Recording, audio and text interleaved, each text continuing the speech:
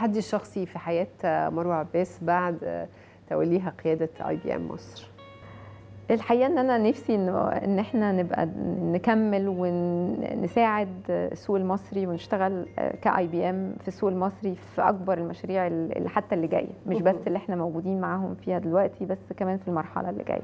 بتزيدني فخر بحقيقة إن إحنا نبقى بنخش يعني وبن بن بن بنجيب تكنولوجيا IBM اللي هي من 111 سنة مم. وكل ال expertise وال knowledge اللي جوه IBM إن إحنا نطبق فيه في السوق المصري هنا في مشاريع قومية نفيد بيها البلد. يا رب. وهنتابع وهنشوف وإحنا واثقين انه بيحصل فعلا ويحصل إن شاء الله بإذن الله. أه قبل ما نختم عايزة أشاركك بقى بسؤال تقليدي جدا في شغل عالي إنه دايما بنسأل سؤال كده مجموعة كلمات وعايزة أعرف واقعها عندك. اتفضل. هبتدي من الكلمة اللي هي عنوانك قوي أه. بكل الهدوء ده. النجاح. تقدري تقولي نسبي. مش مفيش توصيف واحد للنجاح بالنسبة لا لي. لأنه آه. زي ما كنت بقول لك النجاح آه. بالنسبة لي في وقت معين ممكن كان يكون بيتي. آه. النجاح دلوقتي بالنسبة لي ممكن يكون مع بيتي هيكون شغلي مم. وتحقيق أحلام معينة لشركة اي بي ام في مصر. فيعني هي هي نسبي. مراحل. مراحل. الفرصة. آه الفرصة يعني تقدري تقولي إيه إرادة. يعني الفرصة لازم تبقى إن أنت أو توفيق من ربنا. مم. توفيق من ربنا. أي أكيد. المحاولة. هي دي الإرادة. آه. لازم يبقى عندك إرادة. وتقعي وتقفي وتكملي.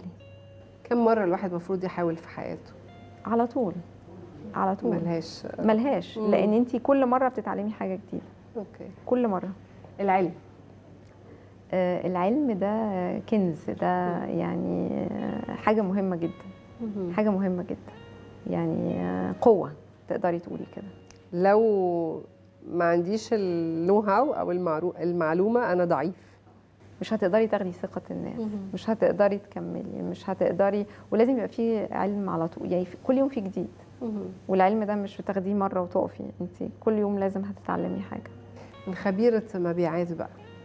الإقناع. إزاي؟ تحصل إزاي؟ اشمعنى في ناس مقنعة قوي بتدخل قلبنا ونصدقها. الصدق آه. الصدق أنا بشكرك جدا ومبسوطة جدا بأنه اتشرفنا بواحدة من النماذج المصرية الحقيقية اللي قدمت قصة نجاح حقيقية وواثقة وممتدة على مدار وقت طويل وبتعمل شغل عالي لا ميرسي ليكي وأنا اي هوب إن إن شاء الله يعني يكون الكلام اللي إحنا اتكلمنا فيه ده وصل لبعض السيدات والبنات اللي في المصريين وعشان يكملوا ويعملوا شغل عالي هم ده حقيقي. بشكرك. شكرا جزيلا.